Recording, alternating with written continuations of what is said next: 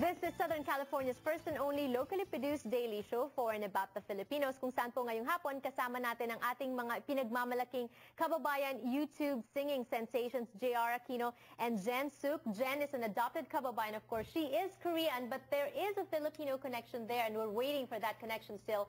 I hope AJ Rafael makes it today on the show. He is stuck in traffic coming from a meeting, but hopefully, hopefully. But before that, for those of you who are not familiar with the work of Jen, let's watch this. When your fingers cross my legs,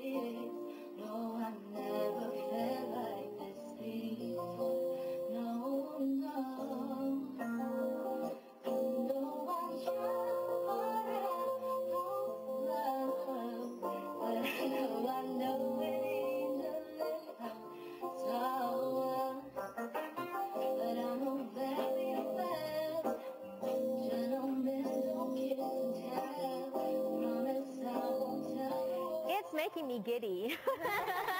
is it making you giddy? Um, yeah, I was smiling. I Do was you like, remember the time when you recorded that? Yes, I do. I vividly remember it. It was actually the first time I I met AJ, and The very first, very time. first time. So was there sparks flying already? Was, it, was there an initial connection? um, yeah, like we just we were we like clicked from the start. Like we hit were, it off and Um, yeah. Yeah. Okay. We You- got along really well. I'll, I'll ask Yeah. him later when he comes to me. All right, let's make way for your phone calls. Our first caller is Sam. Magandang hapon sa iyo, Sam. Hi. Good afternoon. Um, good afternoon. I was just wondering, how has your experience been since YouTube? Have you been getting a lot of attention? You definitely are, right? Getting a lot of attention? Yeah? Definitely. Yeah, definitely. But does that make you improve or does that are you taking formal lessons now because you know that more people are watching you? Is there more pressure when you choose your material? Uh, Do you ask consult people, see what they want to hear from you?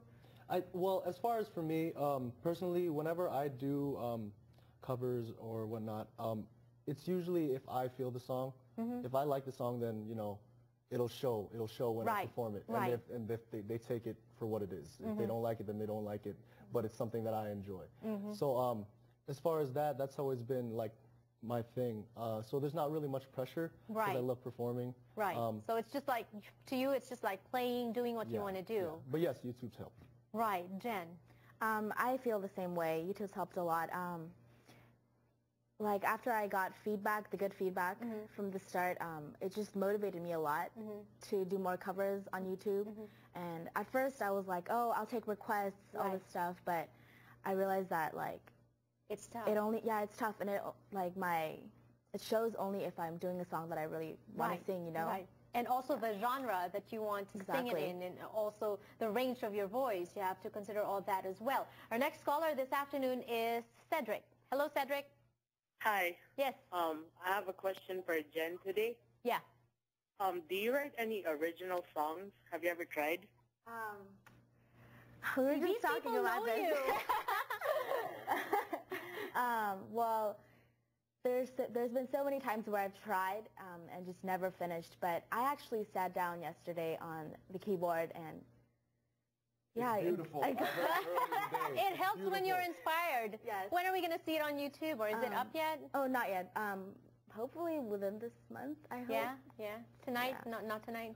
Not today. All right, Stephanie, our third caller. Hello. Hi. Yes. Um, yeah, I heard that, Jenny, you said that you actually used to audition for Korean entertainments. And actually, I was planning on auditioning for one next month. I was wondering if you had any, like, advice or tips that you could give me. That's a good question. Advice or tips when you audition?